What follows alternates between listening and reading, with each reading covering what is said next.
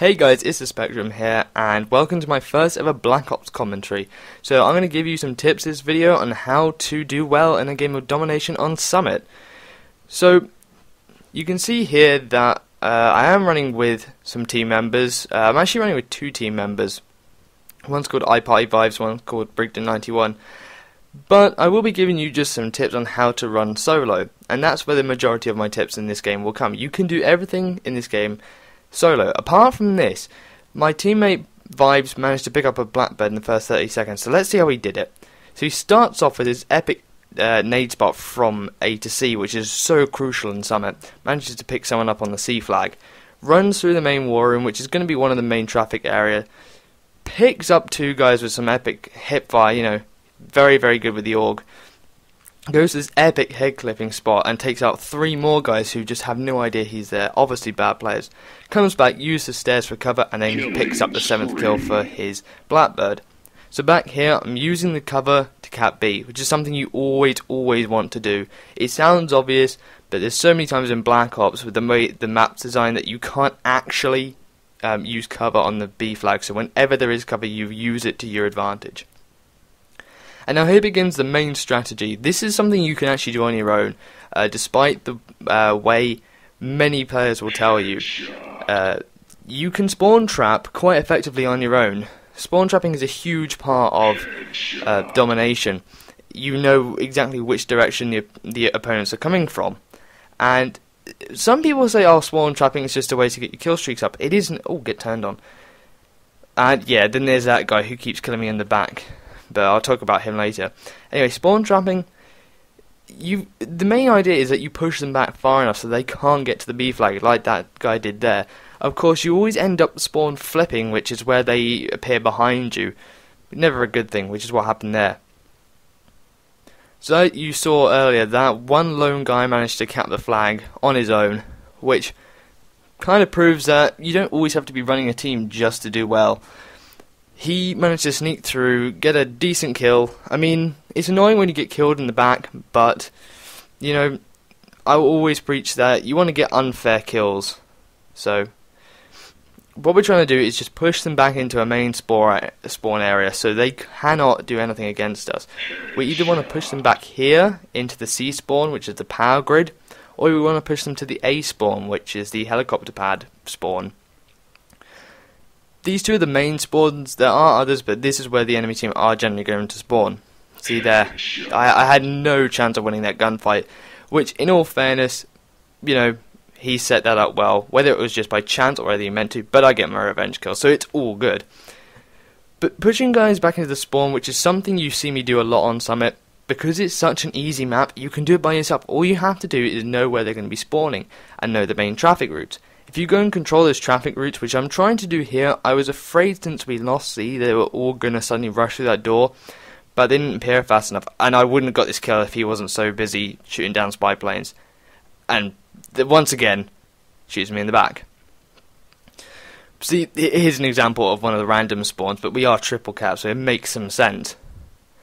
Coming back, I see these guys on the radar, predict their fight. I wouldn't normally go to them, but he was completely oblivious, and so was he, so I managed to pick them both off pretty easily. This was a very, very lucky, aggressive gameplay for me. Normally I don't do this well if I'm running around, but Summit, that's an exception. Also, this was a funny moment. I saw these guys coming down the uh, the narrow choke point here and between the two buildings. I thought, yeah, let's get an explosive kill with the LAW. I didn't realise they were wearing flat jacket until, BAM! Direct impact with the LAW, and that was the same guy who shot me in the back twice, and he rage quit after that. It's, it's such a good moment when that happens.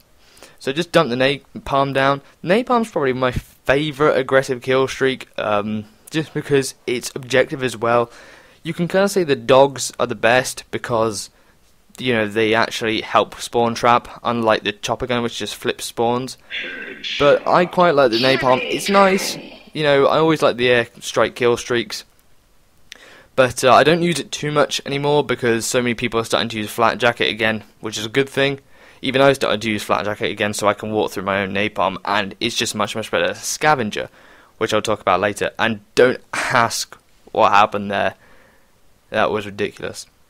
I actually quite like the AUG, which is the gun I'm using if you're not familiar with Black Ops, or just not familiar with the guns yet. The AUG is basically the same as the FAMAS, which is, as we all know, the best gun in the game.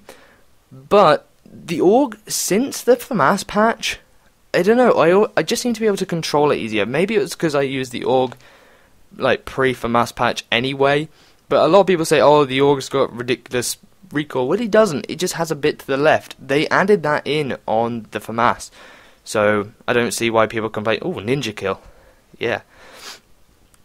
But uh, how that guy didn't see me, I don't know. And that just shows you how powerful hipfire is, especially in this game.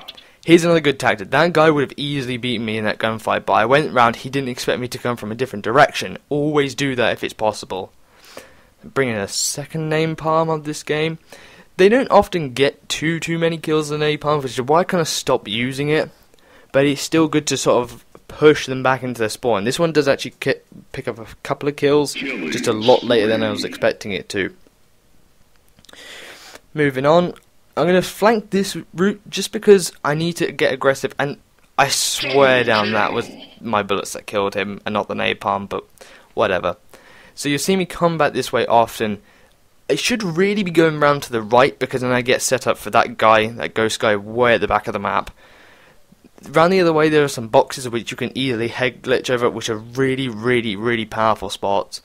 Uh, just because you can pick people off so often. But, no, I was feeling a little arrogant at the time. It happens. Once again, we're coming back this way. Just you, you need to keep aggressive. You need to force them back. This is the most crude. I say crude. It's the most basic form of spawn trapping. It, you know, it's just the way it's done. So that's a tip. These are the places you want to be on Summit. So at this point, they have absolutely no hope. I mean, that guy's trying to flank up, but I, you know, we've got an SR up, so I'm coming. I'm not even going to let these guys get through the aim room. You just don't need to. Just defending it, that guy, I don't know what. At this point in the game, for most guys, if you're doing well, you can just focus on getting kills, which is what we're pretty much doing. Domination eventually just turns into a, a free mode TDM eventually. Now, this gameplay is quite old. The setup I'm using, um, I actually don't use anymore. I'm using Scavenger, Sleight of Hand, and Tac Mask Pro. I still use Tac Mask Pro, I still use Sleight of Hand, I just don't use Scavenger anymore. Oh, here's a good thing. Don't cloud cloud? Don't crowd around your um, teammate. If you do you're going to get put in a double kill like that. Anyway scavenger i don't use anymore because with all grenades and c4 and claymores if you look at what flat jacket protects you from you know it's just so much better than every other perk in that tier. I mean, I mean i know people go on about ghost being so overpowered. It's not overpowered it's just it's easily abusable. And I might talk about that one video how Flat Jacket is just so much better than Ghost. I want I really want to stress that to people. And you can see my aim goes a bit out the window here. But I don't know. I've got I've had several headshots this game. I think it's been pretty good. So the game's winding down. Guy brings his chopper gunner in, but it's too late because I mean everyone is just you know, I mean, we've got a few seconds on, get that guy and I pick this guy off last stand, and that ends the game, guys. So I hope you enjoyed. The final score was 42 and 7, and I got 3 caps and 5 defends. If you enjoyed, please leave a like, and maybe you're even a favourite. But for now, guys, if it's a Spectrum, peace.